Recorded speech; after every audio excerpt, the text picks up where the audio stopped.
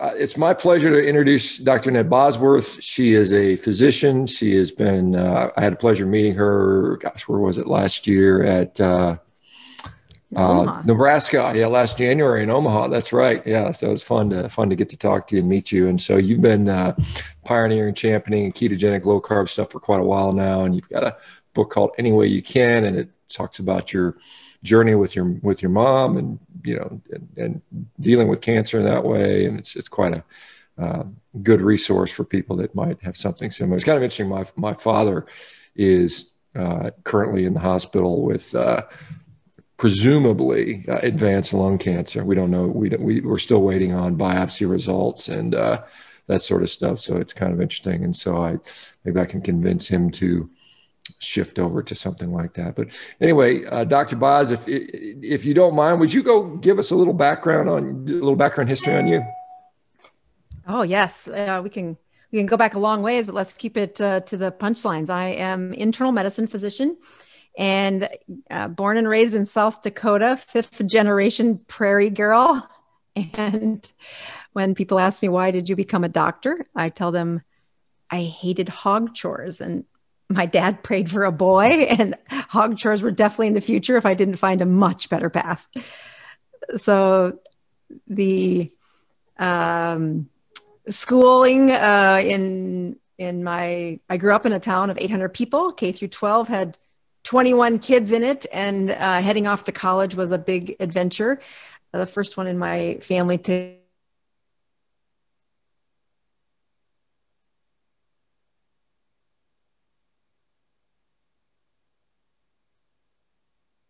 Let's see. I think she she seems to be frozen, or maybe it's on my end. Can can anybody thumbs up if you can still hear?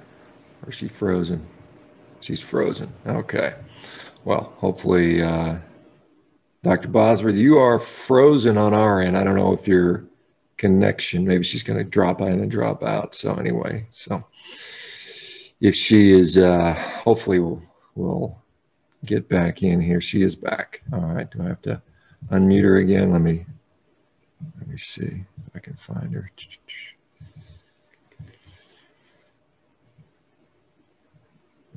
Unmute. All right. Dr. Bosworth, you back there? We lost you for a second.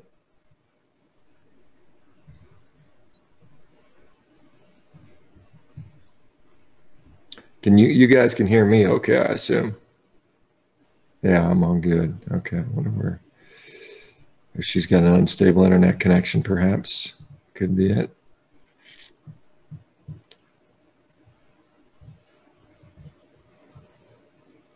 Well, anyway, today is Monday. Hopefully, everyone is doing well. I've had a nice uh, started my day with a nice four mile walk with the dogs. I'm here. I see you. I need unmuted. All right. Well, let me try again. There we go. Asked unmute.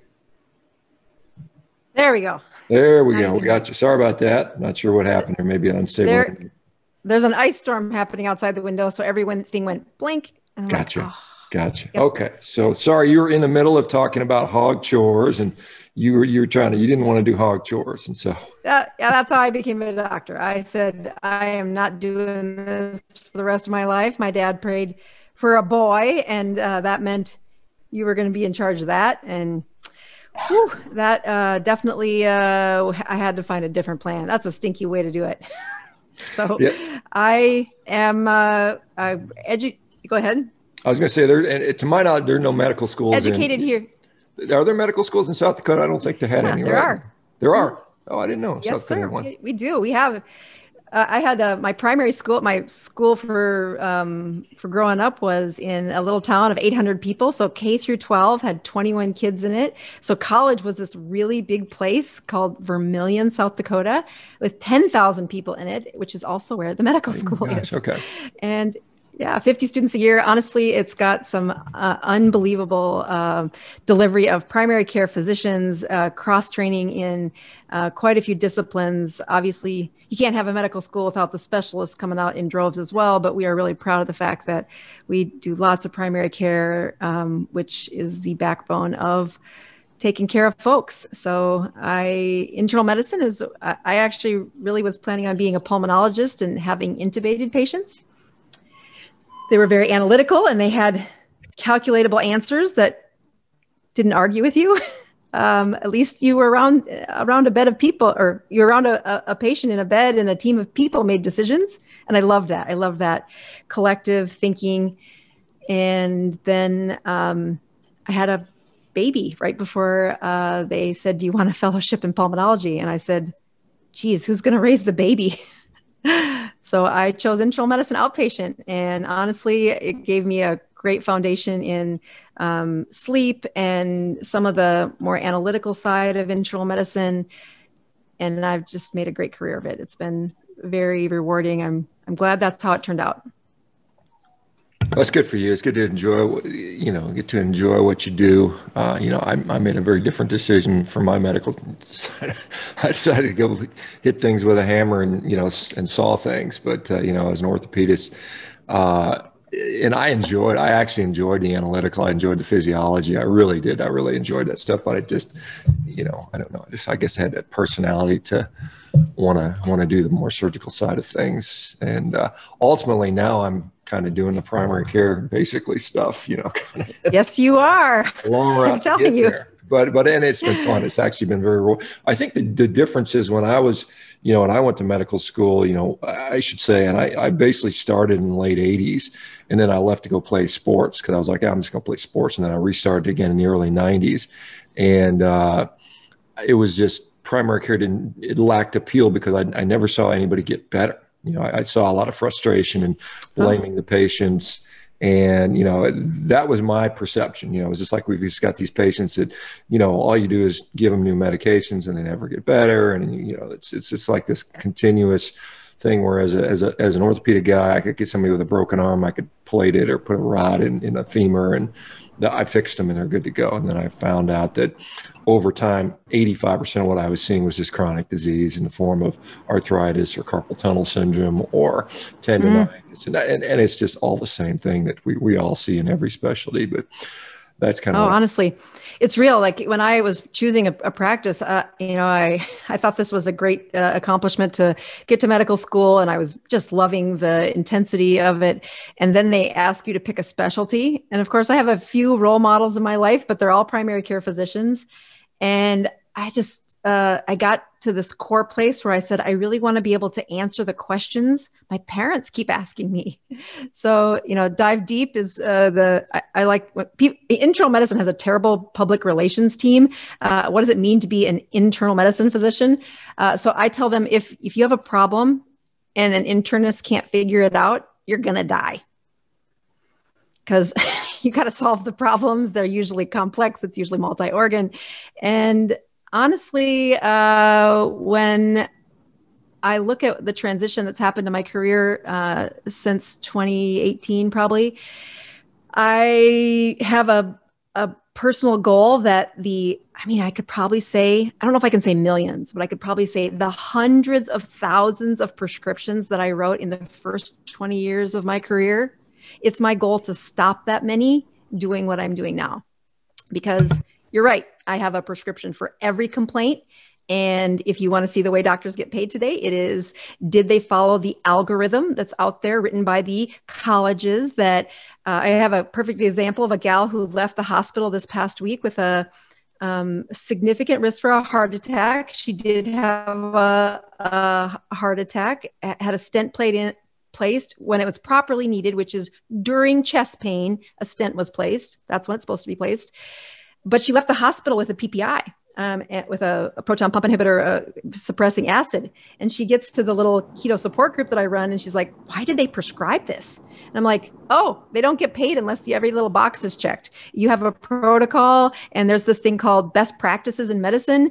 And it, it is really meant because there are so many things you have to be responsible for in medicine today that you can't possibly expect a 28 year old coming out of medical school running the practice to know how do I manage all of it. So they've given them check boxes, which is great, but that's only 80% of the thinking, folks. You got to keep thinking. And it's that 20% thinking that doesn't necessarily uh, happen. Uh, I mean, she got put on a proton pump inhibitor because that's what the best practices say to do. So there is a prescription for everything. Yeah, I, I, can remember some of the post-op protocols we had written for you know total knee total knee replacements, and I mean it was just it was it there wasn't any thinking. It was yes, put them on a PPI, yes, insulin sliding scale. Uh, you know, it was just all these things you put these people on routinely, wouldn't even think about it, and and it was just this kind of standard thing. And you're right, if you didn't if you didn't do it a certain way, you were either setting your yourself up for uh, potential uh, litigious issues, or something went went wrong, peer review or any of those things. And, you know, like I said, a lot of these things, a lot of these things, like these PPIs, as you know, particularly if you go on them chronically, they, they cause significant problems with a number of things. When did you, when did you shift your focus into this sort of, you know, low carb sort of lifestyle based medicine and what, what sort of, sort of sent you that direction? So I, again, I'm primary care, but I'm also I think being from a small community, there's this kind of hardwiring that says you have a community responsibility for the for the job you're called to do. And so I had a ton of time spent in the shelters in my community as an internist, which is kind of weird. Uh, but there was a huge amount of mental health needs, and I am I am I do chronic disease management like every internal medicine doctor but I really enjoy the the puzzles of what happens when your brain isn't working right. So there's a lot of if you had a, a, a tapestry of the types of patients that come to see me, it is they have a brain that's not working right. And whether that's Parkinson's or Alzheimer's or depression or sleep problems, um, that that wove into eventually you're going to kind of swim upstream to addiction uh, medicine so I had a bunch of addiction medicine that I don't um, do um, in a big public way, but I am definitely about getting people off of their drugs and uh, getting their brain healed. And that protocol has been something I've been studying for a long time. So there was a podcast in 2014 uh, by Tim Ferriss and um, uh, Dom D'Agostino, and they were talking about some of the uh, protocols that the Department of Defense had kept them a national security secret for as long as they could. And, and then there was a point where there was a reveal of what the data was saying. And that's what uh, Dom D'Agostino was talking about, saying there's this uh, higher understanding of how to repair a brain through a state of ketosis. And I'll be honest, I'm like, okay, Tim Ferriss has some weird things on his podcast, but that was blowing my mind. Like, what? Why don't I know about this? Maybe this is uh, like a, a I have a friend who's a doctor of the flute, the, the instrument. I'm like, is this guy a doctor of a flute? you know, what kind of doctor is this guy? So I get online and I start looking and I'm like, oh, they're legit. And that uh, led me to read the papers on um, when you have a Navy SEAL, which is a very valuable human being, but uh, he is a weapon of human performance. Um, when they have an injury, especially in their brain, how do you heal it? And what I, in my clinic, doing some very advanced things like um, TMS and really working to make sure sleep protocols were depth of sleep to repair a brain, not just I'm sleeping, um, in air quotes there for people not watching. Uh, the true repair of a brain was um, in a constant state of ketosis that they were calculating and measuring it blew my mind. It would take me at least five years to get the kind of outcomes they were getting in six months. So I, I actually closed the clinic for three days, which I'm a independent physician. If I'm not working, there's no money coming in, and that's kind of a that's a lift. And in primary care, we don't have a, something to hammer or or crack open, so we don't get paid the big bucks for procedures. We get paid for thinking. So you close a clinic as a primary as the primary physician, you're going to lose some money. But I didn't care. I couldn't stand not knowing this. Went to the school library, the medical school library here in town, and uh, just went nuts uh, for about 10 hours. Took home three days later. I kind of come out of the paper mess and say, okay, I've got to be doing this. So I had, um, I first wasn't going to advise anybody how to do this until I did it myself. And I was there was no good handbooks out there. There was a lot of geeky stuff out there about how to do this in a protocoled way, in the way that uh, you know MD Anderson was doing for their brain cancer patients, that the Navy SEALs were doing for any concussions, that some of the major NFL um, you know personalized coaches for metabolism and and you know body machine repair. There was a me- method they were doing, but it wasn't like clearly written out anywhere. So I said, I'm going to do this on me oh my gosh, three weeks later, I still hadn't peed a ketone. I'm like, what the heck is the matter here? And it was Memorial Day of um, 2015. And our city has a about a 26 mile um, uh, river walk or bike path. And my kids and I got up and at five o'clock in the morning went on a 26 mile walk with a group of other people with rucks on our back uh, to represent uh, those fallen heroes who die from mental health or addiction that are soldiers. So it turns out if I walk 26 miles, I pee ketones, which was the first ketone I peed. And then um, a month, so then I'm continuing to read. I've really, if you've never looked at the website from Pet Sanctuary, uh, and pet being for dogs, but also pet is for pet scans. And you're in California, right? Yeah, I'm in uh, Southern California. Yeah, so uh, Pet Sanctuary first started out in your state, but apparently the rules were too. Uh, they they didn't protect animals well enough, so they moved them to Texas. So they're now in Texas, but the rules were within 50 miles of that uh, pet sanctuary. Any veterinarian who got the call that um, they wanted to euthanize their dog due to cancer, they asked if they would donate it to the pet sanctuary, and they would put these dogs in a strict ketogenic diet. They would run the protocol that was being run in many of these hospitals, and they would put them in hyperbaric oxygen chambers at night. And these dogs were having incredible responses. I mean, they would have tumor lysis syndrome, which means so many cancer cells died at once that they plugged up their kidneys and died. And um, as a as it turns out, that um, was a good problem to have when you're trying to fight cancer. We can we can back it off and not quite kill them so fast. But that process was something I had just barely read about um, when my mom, who at the time was 71 years old, and I'm still doing normal internal medicine here. Life is still status quo. I'm kind of working this keto thing in the background in my own personal life, but I haven't really talked about it much to anybody. And my mom uh, has had CLL or cancer over white blood cells for over 10 years at this point. She's had chemo a couple of times. During that time, she's put on like 70 pounds. She's only 5'3, so there's not room for an extra 70 pounds.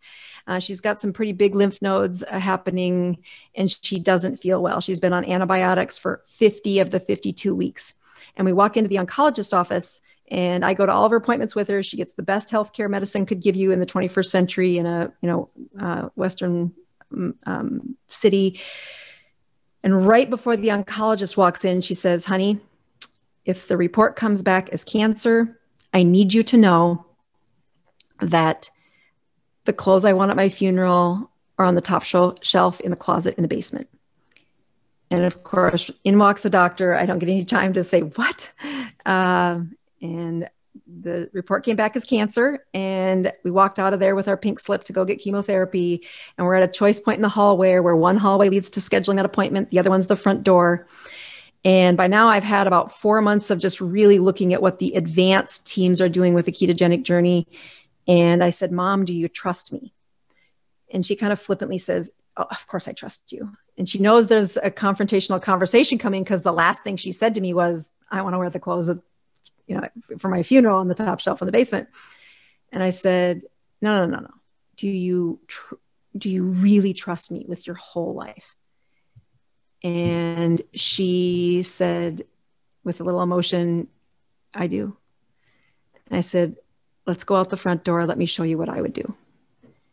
And we drove out. My farm's 100 miles away from that little city, uh, that city or that hospital. We drove to a um, to the house. We cleaned out all the carbs. We did what I do with my patients now, which is a carb cleanse. Uh, you get everything out of the temptation zone. I do much of the approach for what I would use with other addictions like heroin or alcohol or crystal meth, you know, any of those addiction processes we've been using in the past. We did a cleanse. We got her, and I don't mean like a bunch of nutraceuticals that you poop into the toilet. I mean, your house environment has no carbohydrates in it. And for the next six weeks, we did a we did a sloppy version, a very chemically correct, but there was a lot of things we did wrong in that first uh, session. And um, you might not know, but CLL is measured by how quickly it doubles. When she was first diagnosed, those white blood cells went from like 40,000 to 80,000 over a four year period. Then it's a two year period. Then it's about a one year period. And when it's doubling every six weeks, you have a six months life expectancy. So she was doubling every six weeks at the point um, that uh, we got that bad report and her follow-up appointment was in six weeks. And like most busy clinics the clinic didn't notice that she didn't come for chemotherapy. They just expect you to do that. Um, so she comes back in six weeks later and we get her numbers checked right before the doctor comes in. And um, she was like at 150000 white blood cell count by this point. And the it takes us a long time for the doctor to come in. Like i know something's going on. And before we walked in i said mom just don't tell them what we're doing. I don't have this i don't have the uh, like the the mental fortitude to convince my colleague about this. Uh, so if he says anything just shut up. Don't say anything. And in walks the doctor and he goes i had to have your blood run twice because i can't see that you came in for chemo. Did you come in for chemo? And in my mind i was just hoping it hadn't doubled in those six weeks. I hope like maybe it increased by 50% um, but he puts down the piece of paper and the cancer had reduced by 30% with six weeks of a ketogenic journey, screwing up a lot of things. I mean, we were chemically in ketosis, but we screwed up a lot of things. Um, and of course, my heart's just racing, going, I'm taking this really huge risk with my mother. And, um, and that's really when I started saying, I can't keep seeing patients like this. I can't keep prescribing these drugs and doing this um, without with a conscious, I've got to find a way to get this into my practice. So that was step one. The book is all about her journey, what happens from that, you know, that initial conversation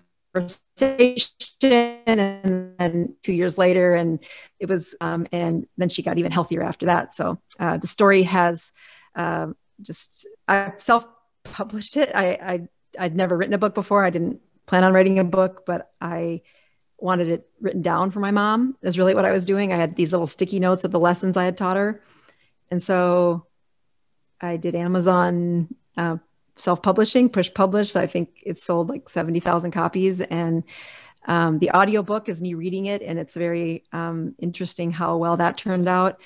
And it's really helped people. Like um, I believe I've treated more patients in what is it now? Three years of speaking keto uh, and the science behind how to do keto than I did in 20 years of one at a time internal medicine, pulling your hair out. We're going to do labs every six months, three to six months, and think I'm going to change your behavior. It's just that isn't how it works. Yeah, and there, well, and there's a lot of things we can we can discuss here, but um, I wonder, you know, I just just just for I guess for the people that may be new to ketogenic diets or you know meat based diets or whatever, you said you did a lot of things incorrectly at the beginning. What were what were those things, and how have you evolved that over the over the course of time? Well, let's just start with the things we did right. So again, this was all based on the protocols that were being run throughout the the the world, if you would, uh, but just in these little pockets of hyper um, early adapters.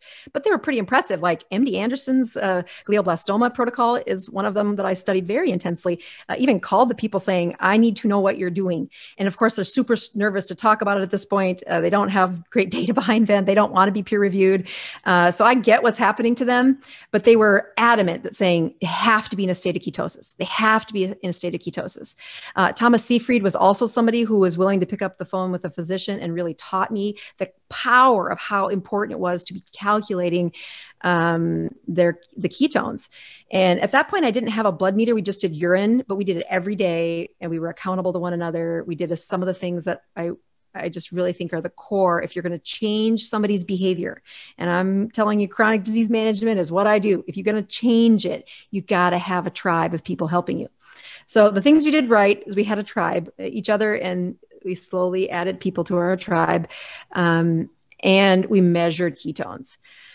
The things we didn't do so well is oh, we had tons of sugar substitutes. We had tons of, um, I mean, we just went, I mean, I really, I'm going to be careful here because if there are newbies out there, uh, there's a really critical point when I am uh, um, setting people up for success that says, I don't want you to look at anything but carbs for those first six weeks. And I mean, I don't want you counting calories. I don't want you counting fat. Um, I need you measuring ketones and I need you counting carbs, and that's it. Um, and so, but we did that probably much longer than we needed to. We just had so much fat. and we really played a lot with the sugar substitutes. We weren't really re- ready to give up all the sweet things that we had been eating.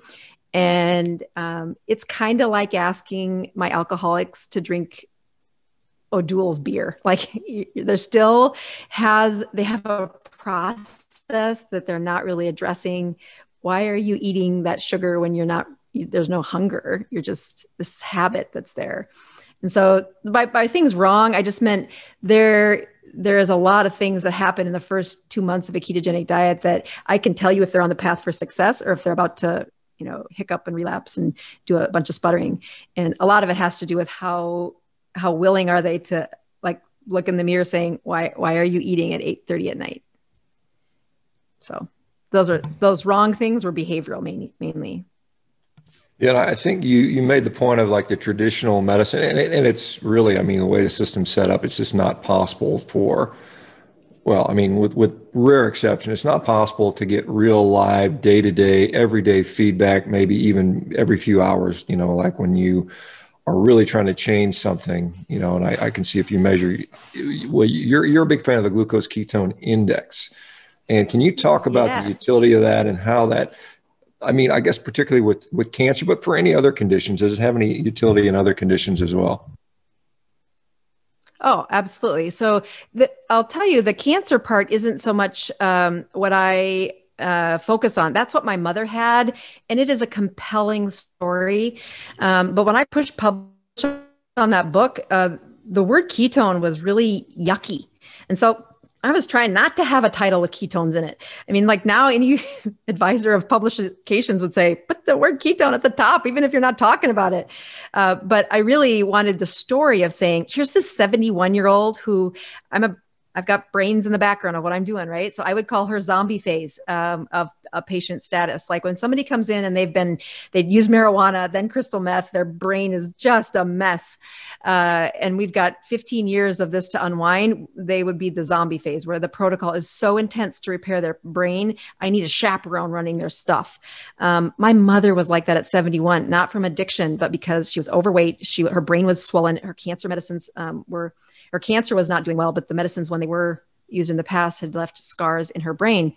So um, when you look at the the ketone index, um, and this this data is very um, uh, apropos that in 2016 is when the Nobel Peace Prize or Nobel Prize in Medicine went to uh, the science behind how does autophagy actually work, and that autophagy is calculatable. I mean, to predict whether and so do you think your audience knows what autophagy is?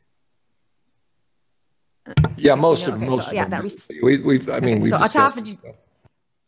So autophagy is what is needed in a cancer patient to repair when the cancer is reversing. Autophagy is what's needed in a rheumatoid arthritis patient when their joints have been swollen for 15 years. And we're not going to send them to the orthopedic surgeon. We want them to repair that and to chemically predict are you on the path for repairing that or are you inflaming? You can measure that with a high level of prediction. And that is um, GKI is glucose ketone index, but remember my mom had a zombie brain. She wasn't thinking very well. And I would contend that many patients that I take care of with chronic illnesses, they have brains that that aren't working right. So she couldn't do the, you know, milligrams to deciliters, uh, you know, millimoles to uh, liters. She, there was too much math. And so I said, okay, mom, just take the glucose and divide by the ketones. And in the background, I just did the math to say, all right, if you get a number that's below 80, you are you are you got a pretty good chance of autophagy. Um, you would definitely lose weight if you're. Uh, I called. I didn't call it this, but it's become called the Dr. Boz ratio, which is you ignore the math, you just take the glucose, you know, the big number, divide by the little number, and especially for foggy brains, that does work. Um, and if they would get a number of 80 or less, they were in weight loss zone. Boom, they're there. But if I could get, if I was trying to repair an immune system, which is um, you could say the CLL was part of that, but I, she's even more advanced than that. So repairing immune systems are my probably the crux of where I get most of the uh, um, patients who need a physician to help with this. And that is autoimmune problems where your immune system has gone wonky. It is not attacking a foreign invader anymore. It's attacking your own body. And it is a mismatch. It is a, it is a cytokine crisscross. It's not supposed to do that and to get a healthy crop of uh, white blood cells i can do that. If you give me a perfect chemistry for 48 hours we can start to see the new white blood cells. And they don't make the mistakes uh, as frequently or as intensely as the last crop. And you make 5000 crops of that over the next six months and we can really get uh, a tra- transition in the amount of immune modulators that we need for those autoimmune disorders um, Crohn's disease, ulcerative colitis are some of the best stories I have for these are absolutely destructive processes of the gut where your immune system is attacking itself.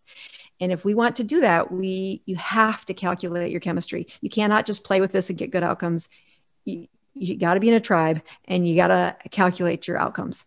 And that um, is at least a Dr. Boz ratio of 40 or less. So that would be a glucose ketone index of two to one.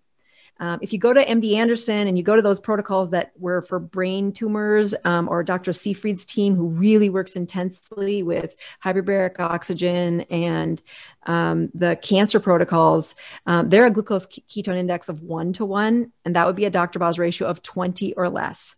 And again, this is not wonky. The, the math is a little wonky because you're not taking the and doing the proper algebra to you know get the units to match but um, it, it is still the same goal. It's your chemistry inside is getting to this level where it says, if you want the best outcomes, we can measure it. Um, I've been taking people off of heroin and uh, you know serious addictions for 20 years. I'm telling you, this is what my you know my next you know, that's what I've been working on for the last year is um, since the book came out, I've really honed in the protocol. Like, what is it that I do? Um, and truthfully, you don't need to be a doctor to do this. I mean, you really don't need to be a doctor to do this. There's some things you should watch out for, but you should just educate yourself and take the information to your doctor because there's no way you're going to find people geeking out about this like like you and I are. I mean, you can't be in medicine and do it. Like I'm an independent physician. I still have a medical board that has to, you know, I have to practice, you know, evidence-based medicine, but um, as soon as you're on a hospital board or an insurance panel or um, you're a part of a, a, a the first thing they're going to do is take you in front of a peer review and say, but Dr. Bosworth, you didn't put her on an acid suppressing pill after she got discharged from the hospital for her heart attack. That is against protocol, and everybody else that, that is an internal medicine physician does that. So to take it all the way to saying, I'm going to get you off your meds, we're going to do this in six months, and you need to show up for the free support group every Friday. Okay, no insurance pays for that. Okay, it, it's I don't even I it's free in my community. I lead it for free every Friday because the headache of trying to charge for it is I'm not interested in it. I am interested in how much better they get, and and that's how my mom got to the point where um, she reversed age by she's the healthiest she was the healthiest she has been probably in her whole life uh, at 76 yeah, let me just ask you because, and you said you've been refining that protocol, and I see on your on your uh, social media you're constantly posting. You know, you've done this and that, and this is your ratio. So, what are you finding? Um, I mean, obviously diet plays a role, but I see you, you, you fasting, sauna. I mean, I suppose maybe exercise would come into play. What are you finding are the things that impact it one way or the other? Right. Well, the other, let's address exercise because I think that's a misconception. Um, I have, um, I have found that especially when I'm changing behavior, okay, again, this is a really, this really is an addiction. And to unpack and think that food isn't how you comfort yourself, I just need you to look at a functional MRI when you eat bread. it just lights up people. Uh, it's addictive.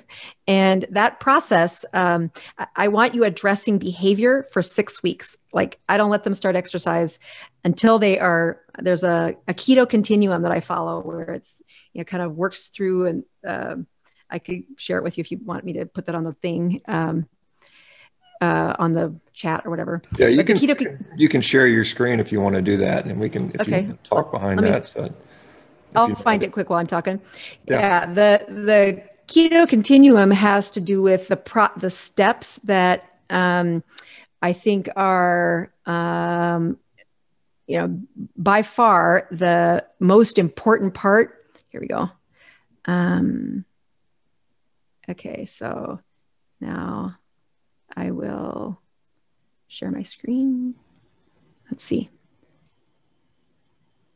Push here, share screen. Oh, got it. Share screen. And here we go. Okay, can you see that? Okay, so this is just the continuum that I've set up. And I, I, like people to focus along that left side where it says beginner, baseline metabolism, and stressing metabolism. And I don't let people exercise until they get to baseline metabolism. And whatever rate that, that takes them, and especially, you know, chronic disease management, most of the audience that I take care of, they aren't, you know, I have eight, I have three sons, uh, very athletic 15 18 and uh, almost 20 uh, that's not the metabolisms we're working with in the clinic. We're working with you know 30 year olds that act like they're 50 they're 100 pounds 100 pounds overweight. They've been that way for since their teenage years. Uh, so 30 year olds but mostly 40 50 60 70 year olds and as you hone in those mitochondria and really improve that efficiency of energy there's some stuff happening on the cellular level that i need you to not push this uh, and think you're going to ha- you're going to lose weight. You lose weight in the kitchen people. You do not lose weight in the gym. There is a huge part of this that's um, if you want the best health we're going to get to exercise but you're going to fall right off this wagon if you take on all that on day one. So i do not let them talk about exercise uh, until we get they are stable in one of those baseline metabolisms. Uh, and this protocol is what the, i i am i was hoping i would release the, the book by somewhere in july but uh, i released an course that's the clipped videos uh, and the hand that will make up the book that still isn't published yet, um, but should be hopefully by the end, in the next month. Um, which is this protocol. It's using another patient story to talk about how did we, you know, how do I use this protocol in my clinic? Where do people where do people hurt themselves? I mean, I've had people try to do all this at once and they're on the floor. I'm like, you have atrial fibrillation. Um, what the heck were you thinking? You cannot do this. Uh, you can do the diet. You just can't zoom into this, uh, you know, baseline number metabolism uh, 16.8 tomorrow. You've got to step into this because there are all kinds of chemistry things changing, mainly the reversal of chronic inflammation at the cellular level, which changes blood pressure, it changes mentation, it changes the depth of your sleep.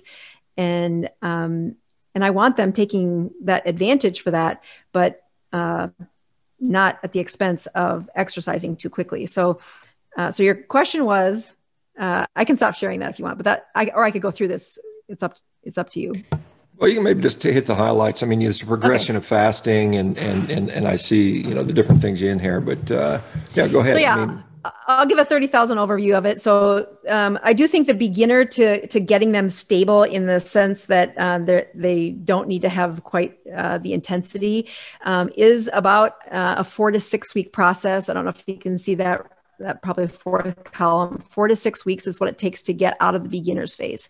And beginners, I, I actually put eat every two to four hours. That's what the standard American diet really forces you to do by the time you get to meet a chronic chronic inflammation. Um, we then lower those carbs to 20 or less. We do not play games. We do not have net carbs. We are total carbs less than 20.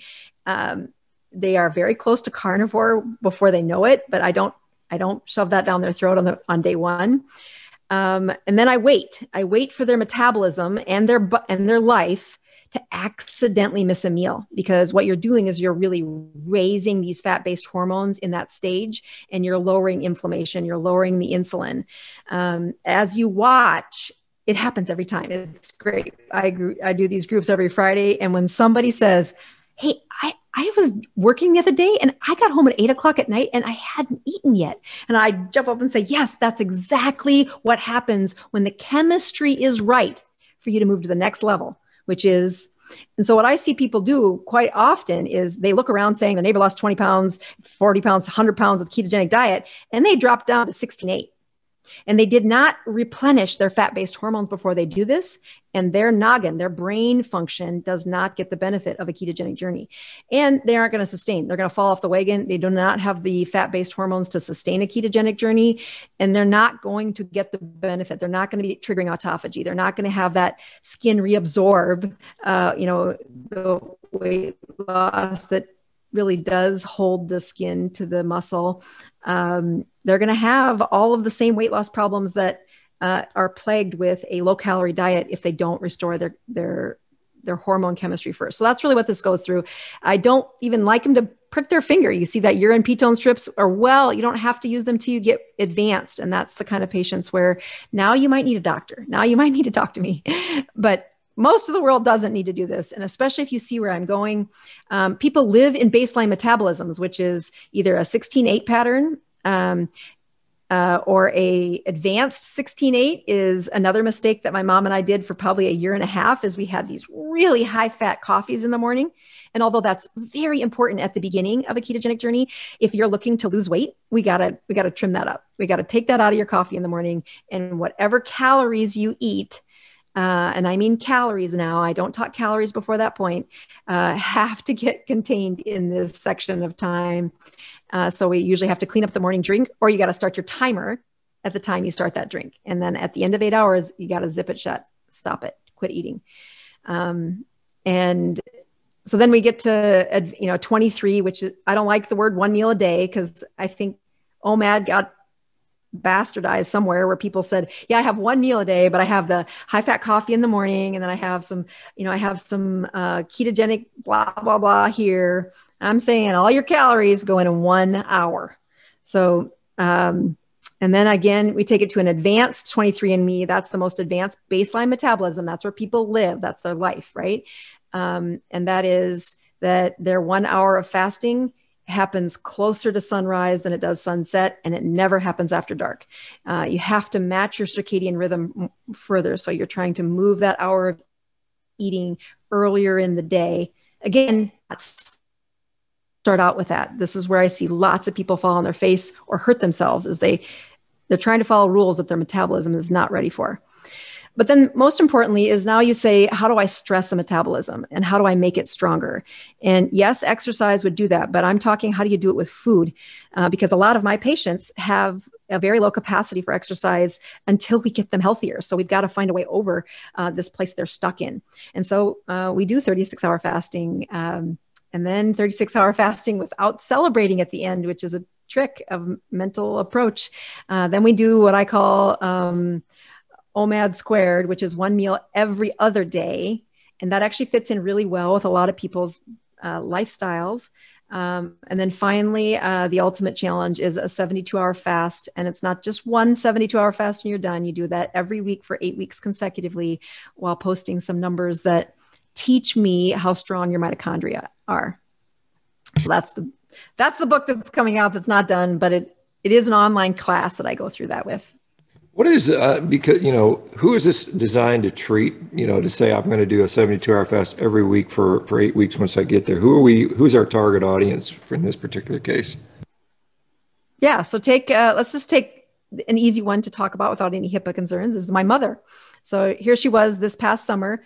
Um, my dad had died of uh, uh, uh in June of of kidney failure that could have been prevented had I been a good enough daughter to teach him that 20 years ago, but I, I didn't know that. So uh, he died. Uh, she was kind of grieving, um, and she gets to her, and she's doing keto. She's definitely, she checks in for the, she zooms in for the group meetings every week and she's checking in. But we get to her oncologist, and in your bone marrow, there are three um, places, three things that grow your white blood cells, your red blood cells, and your platelets. And so her white blood cell count, which is her cancer count, hasn't changed that much, but the red blood cells and the platelets were, were smaller. And they'd been going down for the last three checks, which means the scar tissue left from the cancer was kind of taking over the real estate in her bone marrow. And so we really needed to trigger some autophagy. I'm like, Mom, you're too old for a bone marrow transplant. They won't do that. You can't go in and scrape out the scar tissue. The only tool you have is autophagy. And I said, I know you haven't done the 72 hour uh, fast since we wrote the book, or, you know, I, she'd done a few of them, but nothing like the protocol, the eight consecutive weeks. And I said, so we're going to challenge you. And again, we kind of recruit the online community to, um, you know, to support her and to support anybody else that's looking for this, especially uh, this is what I would have my autoimmune patients do. Um, it's what I'd have, uh, especially a Crohn's patient that we're trying to cut down on prednisone again. We're trying we're trying to get you in the right direction. Um, I need you stressing your metabolism. And again, you cannot do a 72 hour fast until you've been at one of those baseline metabolisms for a good six weeks. Like, I need your hormones, your fat based hormones, really sustaining this journey. And I need the psychology of you on board with this. So, um, so when I took her, you know, her bone marrow uh, numbers were, you know, just showing scar tissue. So how can we ignite? How can we measure autophagy for that reabsorption of the scar tissue in her bone marrow? We can push her Dr. Boz ratio under 20 and we can hold it there uh, for those 72 hour fasts. And then when she wasn't fasting, she was still eating, you know, one hour of calories per day. A really hearty meal, very satisfying meal, mostly I'm a hog farmer and dog and, and pig farmer's daughter. So there's plenty of uh, great meat around. And um, if she had some struggles in the middle, uh, she would have a little bone broth made from actual bones, not just broth with brown and salt in it, really bone marrow. So, uh, so her, she did amazing. She was in uh, incredible health. But so who, who is the target for is anybody who's struggling with taking uh, their health to the next level. They're trying to get off uh, that cholesterol medicine. They're trying to get off of blood pressure medicine. They're trying to lose the next 15 pounds. Uh, I need you to stimulate the mitochondria. And you can say, well, can't you do that with exercise? Yes, you can. Uh, but I think there is a place for uh, pushing your mitochondria due to a different stress. Uh, so heat stress is your sauna stress, exercise is a stress, and then uh, no calories is another metabolic stress. Yeah, I mean, there's a lot of talk about hormesis. It's another another term you could use metabolic stress and exercise, fasting, sauna, cold. All those things seem to have an impact on that. Let me ask you uh, two things. So, somebody brought up the question about thyroid health. There's a lot of concern about fasting and carb restriction as being possibly deleterious to our thyroid function. How do you deal with people that are already on thyroid meds? Does this seem to have a negative impact on thyroid function? How do you deal with that? And then the other thing is you, may, well, I'll let you answer that and then I'll get back to the cholesterol question. All right. So have you ever met Peter Attia? The, uh, I think he's also in your region, but he's also a big. I've not guy. met him, but I'm familiar with him. Okay. So one of my favorite things he's done is he's tried to understand this, right? So he gets himself, like all of us, we're kind of on the frontier and you think you know the answer to something and then you do a self experiment. You're like, I don't know, but this did not turn out like I was planning. So watching his thyroid experiment of he does a weekly fat, a week long, seven day fast, um, four times a year, and he'll check his thyroid numbers at the beginning and at the, you know, I think maybe even a couple times in that week, but at least at the end of the week. And just watching what it, what your thyroid does in the setting of a fast is very instructional to answering that thyroid question. And that is, you shouldn't look at your thyroid numbers during a fast. But you shouldn't uh, think that. Um, uh, hold on here. I have a battery issue that I need to fix. my internet almost died. Okay, there we go. I'm on my phone so that they we don't glitch out again. We're fixed. Uh, the you shouldn't look at your thyroid numbers during or right after a fast. You you have just asked the thyroid to do a couple of wonky things, and most physicians aren't going to know or understand or even uh, even when we do understand it we still can't quite sort out exactly what timing did we get this lab at relative to the last time you ate and the way you slept the night before. So when it comes to the data on thyroid there are a few things that i can encourage people and that is i have a ton of people who were on low dose thyroid medication um, where I believe that the reason they had uh, hypothyroidism is a, an autoimmune process that was kind of eating up their thyroid hormone. Um, they still could produce it, but whatever they were being, what, what they were producing was kind of tearing it down faster than it could be used. And when they got healthy, we, we were able to take that thyroid and get them off of thyroid medication over the course of about I don't know, a year and a half into keto. Um, I think the other thing that I would give reassurance to that, um, so thyroid medication, um, let's speak specifically about Synthroid. Uh, it, it was originally designed to be a week long dose. Like you should take it on Monday and then next Monday. But humans don't do that very well. So we divided it up into daily doses. So the pill you take today um, really is effective for a good, you know, the half life is very long. And that's of our own hormone, but also of the pill. So knowing that and um, realizing that there is there's a half life involved with the assessment of thyroid processes that isn't very well talked about. It's in every physiology book. Go to the library, open up the physiology book on thyroid, you'll see it. Um, but by the time you get 10 years into practice, you kind of forget that. Like, okay, I don't know. I the weekly dose of thyroid divide by seven. Here's the closest dose. Here's what I prescribe. Why am I doing the weekly dose divided by seven? Oh, yeah, that's right. The, the half life lasts a long time, but you kind of forget the origin of why you do that. Uh, and and then some people don't do that. They just kind of guess the next number. Um, the point I'm making is thyroid disease is wonky. It's not as um, it, is a minor part of your metabolism. When it's way off, it's important, but when it's kind of off, it's not nearly as powerful as fueling your mitochondria with fat-based ketones. You're going to feel amazingly better when you figure that out. Uh, the thyroid will become this tiny little thing that is not it, it, becomes a lot of noise in patients um, histories like it's my thyroid it's my thyroid it's my your thyroid doesn't get that much responsibility okay? It gets a little and it's important but it's not everything. Yeah well i'm just there's just a question in there and i i think you know it's well one thing that i certainly say is there's there is so much dynamic variability on so many of these tests we rely on and most people just blindly to say up oh, it was low this day and therefore you need you need you need uh, supplementation uh, dana is asking about you know if you're going to get your thyroid tested mm. you know, do you need to come off for a while so you don't have this factitious suppression um, you know it's it's probably so would be my guess but I, I i can't say i'm a thyroid expert with regard to that do you have any input on like saying if you no. want to see what, what is your thyroid doing so, in absence of, of medication you know it would make sense you yeah so yeah uh, so I, I, tell my patients. Uh, so first of all, you're the blindly doing something based on a lab test. We need no better example than LDL cholesterol to make that point. If anybody's like, "What do you mean by that?" and that is what you know. Even this generation of physicians coming out, you'd love to hear that they get a better understanding than we did. Uh, no, they're getting the same one that we did. Um, so hopefully we can change that tone. We can help educate patients, which will educate their physicians. I, I do think that's the only way we'll get any of the noise taken care of. When it comes to thyroid, you're going to start with checking a TSH. I know there's lots of reverse T3s and you know uh, T4s and T3s and um, and, and, that's lovely. And they do all have an equation in the um, in the in the algorithm of thinking. But the first one is what does your brain think? And if your brain, if the TSH, that's what the brain sends to the thyroid, says, "Huh, we're pretty good," all the I mean, very rarely. I mean, very rarely do these other ones have this powerful change in how you feel. They'll have a little bit, but I contend that you get your your immune uh, modulators right inside your body, which is an anti-inflammatory state, which is a state of ketosis for at least six months.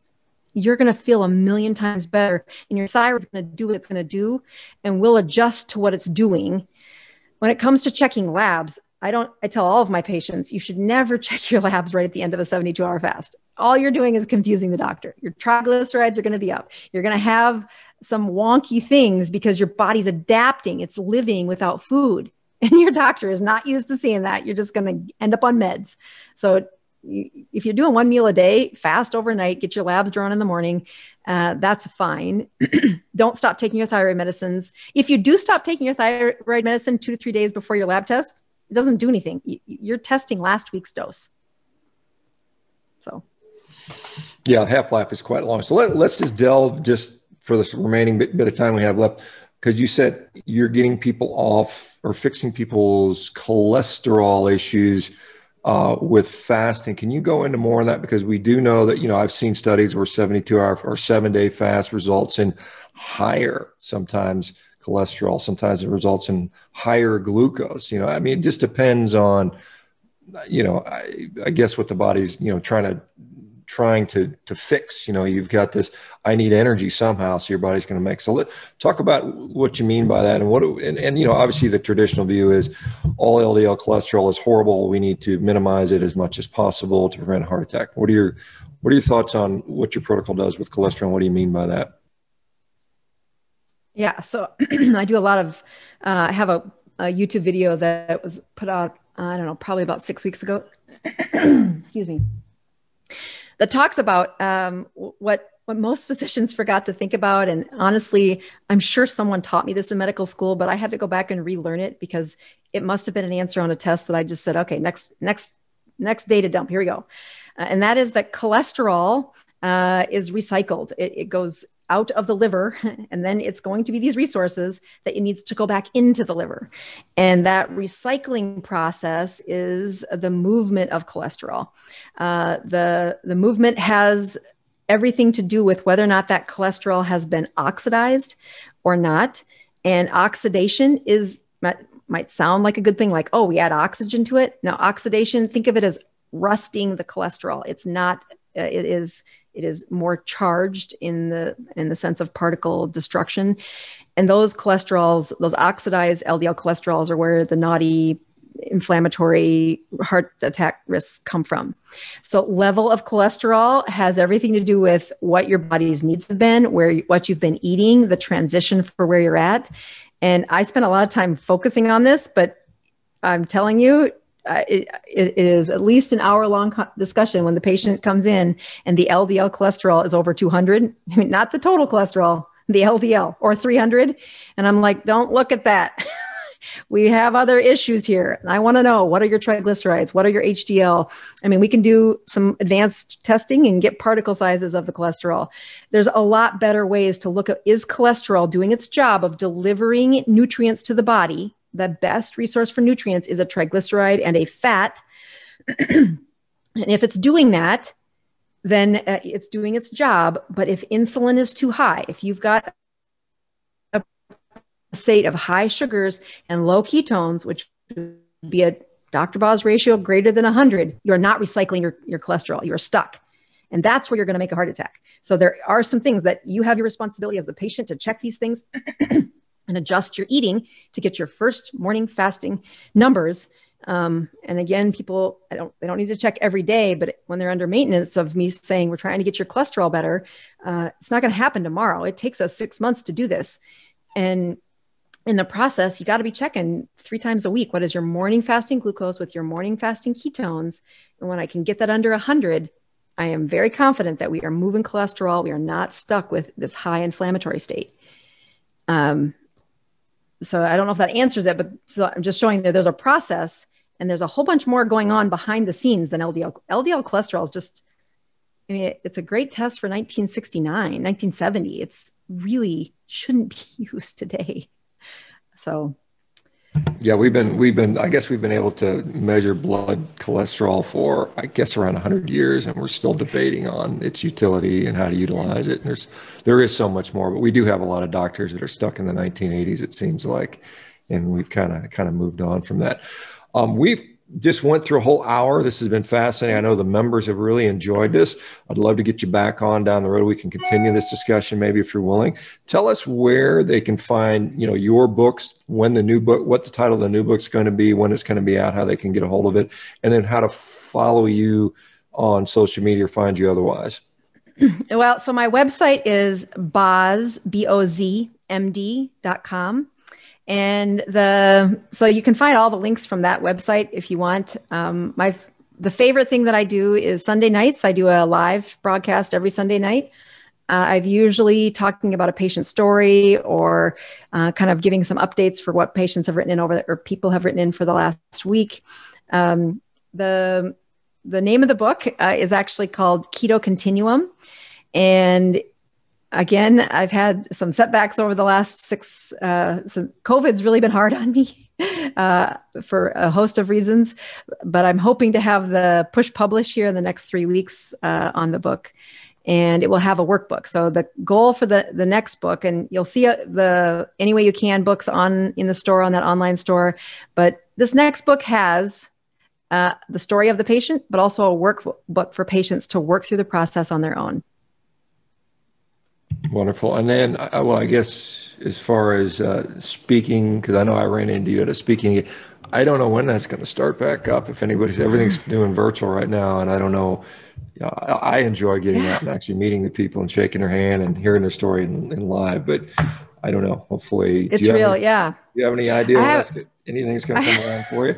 I haven't had anybody even ask me in the last four months, so I don't know. I, I had several gigs that were set up for this fall that all got canceled, and then kind of just been quiet. Like the energy of putting those things on is a lot. It costs people a lot of money to do it. So to do it and then have everything shut down, I just think is too big of a risk for the vendors and the organizers. Yeah, unfortunately. All right. Well, Annette, thank you so much. This has been wonderful. Uh, I really would like to get you back on maybe down the road, you know, if, if you're willing. So I yeah, think our community really absolutely. enjoyed it and good luck to you and stay safe up there in South Dakota and hopefully things, you know, things go good for you now and, uh, you know, that type of stuff. But, uh, um, well, thanks for inviting me on. I really appreciate it. I I, uh, I get a few requests, but when yours came across, I'm like, oh, I would love to talk to him. That'd be great. So thank you. Appreciate it. All right. Well, you guys all have a great day. We'll see you back tomorrow. We got uh, uh, Gabe Brown, another part of. He's part of your. I don't know if you know Gabe Brown. He's regenerative regenerative agriculture guy. Uh, I think. Oh yes, in, I do know him. He's up in North Dakota, if I'm not mistaken. Yes, so he is. Yeah, he's so, my buddy. Yes. Anyway, he's coming on tomorrow. So you guys take care. We'll see you guys. See you guys in, and I'm gonna go eat some steak. Take care, guys. Bye bye.